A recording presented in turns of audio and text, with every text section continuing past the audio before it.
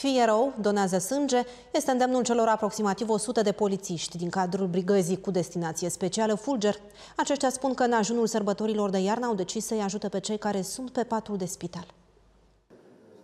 De câțiva ani, Daniela Candu donează sânge cu regularitate. Femeia spune că face acest lucru fără ezitare, pentru că știe că astfel ajută la salvarea vieților omenești. Donăm de fiecare dată, suntem uh, alături de cei mai nevoiași ca noi.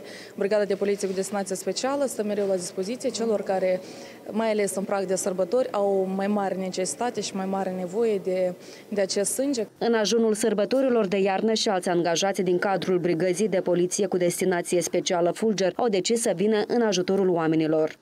Sunt un donator fidel. Anul ăsta sunt la a patra donare. În general, sunt mai multe. În cadrul entității în care activez, noi donăm cu regularitate. Anterior am donat, cred că, de vreo 5-6 ori.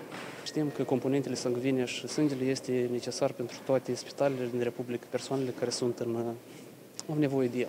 Cei care au donat sânge au primit câte un pachet cu produse alimentare și vor beneficia și de două zile libere. Anul acesta am decis împreună cu, cu alte cadouri care le facem copiilor din țară, de la nord la sud, să facem și o donare de sânge la sfârșit de an pentru persoanele care au nevoie, să le donăm un pic de sânge sănătoși, curajos de la Fulger. Noi am atins uh, cele peste 70.000 de donări care au fost propuse în acest an. La moment, instituția este asigurată cu un stoc suficient de produse sanguine care poate face față tuturor necesităților uh, instituțiilor medico-sanitare. În acest an, în toată țara, au fost efectuate peste 77.000 de donări de sânge.